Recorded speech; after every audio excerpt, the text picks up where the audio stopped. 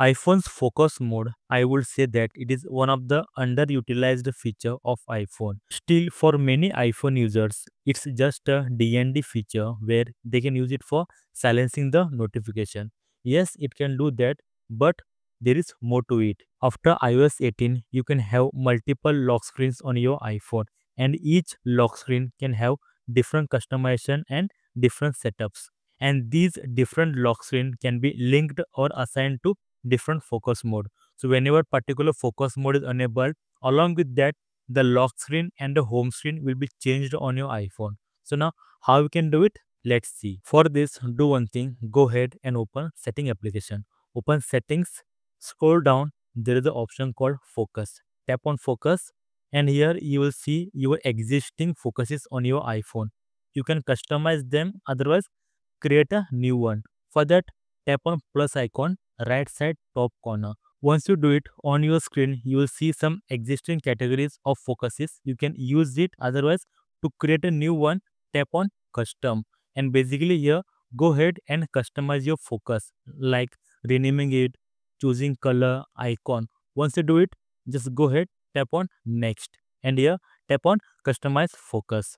Once you do it, now you will come on your main screen that is your focus mode or customizing your focus. This is where you can actually customize your focus. Starting with your notification, there are two options given to you, people and applications. So basically from here, you can choose whom to allow or whom to mute for calls or notification.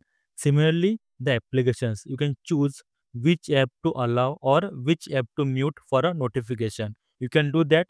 The next part will be your main part for which we are here. That is your choosing your or linking your lock screen and home screen. First of all, here there are two options given to you, the lock screen and the home screen. Tap on first one, choose. Once you have multiple lock screen on your iPhone, you will see all of them here. Just go ahead and choose the lock screen which you want to appear here on the focus mode. So next time whenever you enable the focus mode, this focus mode that uh, this lock screen will be there on your iPhone.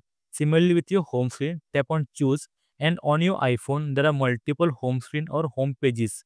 Okay, so just go ahead, tap on the home page which you want to appear or enable that time. So only that home page will be there on your iPhone. Remaining other home pages will be completely locked or disappeared.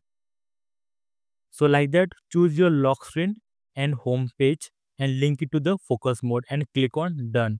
After that, next time, whenever you enable this focus mode on your iPhone, that exact moment, the lock screen and the home page will be immediately changed on your iPhone and you will have your custom iPhone screen on your iPhone.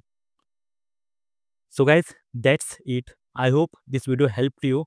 Also, if you use a focus mode on your iPhone, please comment below what is the focus mode or for what purpose.